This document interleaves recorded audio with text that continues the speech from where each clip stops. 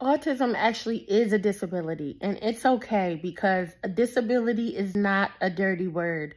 I'll never forget the 60 minute story that I heard about a guy who was born with no arms and no legs. He has such an amazing life, so many amazing obstacles he overcame, and he attributed it to his parents. I have to show you guys a clip. No one likes failing. Um, we all just want to succeed the first time, but that resilience was built in me and that reframing of forward thinking to say, you know what? Every obstacle that I have is an opportunity to do something I've never had before or learn something I've never known before. And so I'm thankful and give credit to my parents on that and that mentality. So as I achieve things, I'm like, got it.